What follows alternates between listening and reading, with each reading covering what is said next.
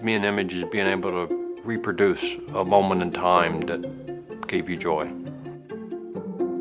By marrying the weaving with the photo image, um, I, I feel it adds more, more texture and depth.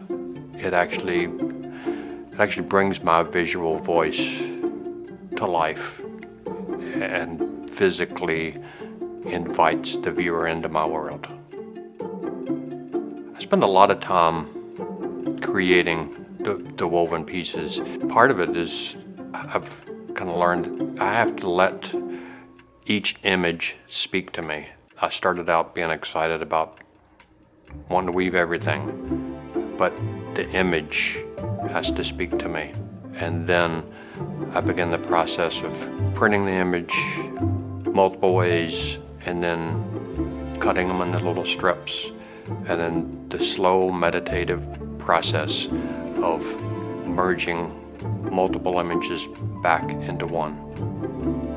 The reaction I get from the viewer with my woven pieces excites me.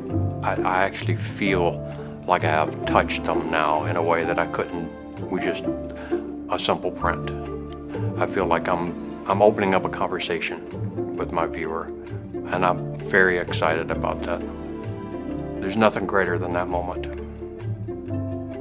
Part of why I'm enjoying my art so much now is that I get to merge two journeys, my, my art and the Appalachian Trail. I'm using the images from the trail and sharing them with people and inviting them on the journey that I took.